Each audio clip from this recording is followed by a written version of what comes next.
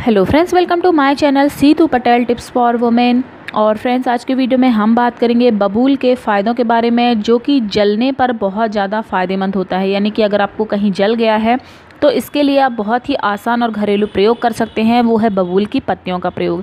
Friends बबूल का जो पेड़ होता है, वो बहुत ही गुणकारी होता है। आयुर्वेद में भी इसे बहुत ही गुणकारी औषधि बताया गया है। फ्रेंड्स, इसकी पत्तियाँ ही नहीं, इसके जो फल होते हैं, यानी इसके जो बीज होते हैं, वो उसके जो तना होता है, इसकी गोंद होती है, इसकी टहनियाँ होती हैं, ये सभी किसी न किसी रूप में प्रयोग की जाती हैं, औषधि बनाने में इसका प्रयोग किया जाता है और बहुत सारी बीमारियों को ठीक भी किया जाता है। अब फ्रेंड्स, बात करते हैं, यदि आपको कहीं पर जल गया है तो जलने पर आप इसका किस तरीके से प्रयोग करें, जिससे कि आपका जो जलन है, वो दूर हो जाए और आपको जल्दी से जल्दी राहत मिले। तो फ्रेंड्स, आपको बबूल की ताज़ी पत्तियाँ लेनी है। ताज़ी पत्तियाँ आप ले लीजिए और इसे पीस लीजिए।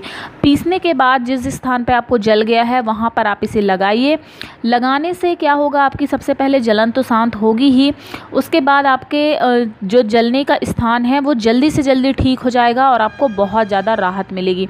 तो फ्रेंड्स, इस तरीके से बहुत ही आसान घरेलू प्रयोग है। आपको इसकी पत्तियों को पीस करके जलने वाले स्थान पर लगा लेना है। उम्मीद करते हैं फ्रेंड्स की ये जानकारी आपको पसंद आई होगी। इस तरह की और जानकारी के लिए आप हमारे चैनल को सब्सक्राइब कर लें, साथ ही वेल के आइकन को ज़रूर ऑन कर लें, ताकि जब भी हम इस तरह की वीडियो आपके लिए लेकर आएँ तो उसकी नोटिफिकेशन आपको मिल जाए और वो वीडियो आप सबसे पहले देख पाएँ।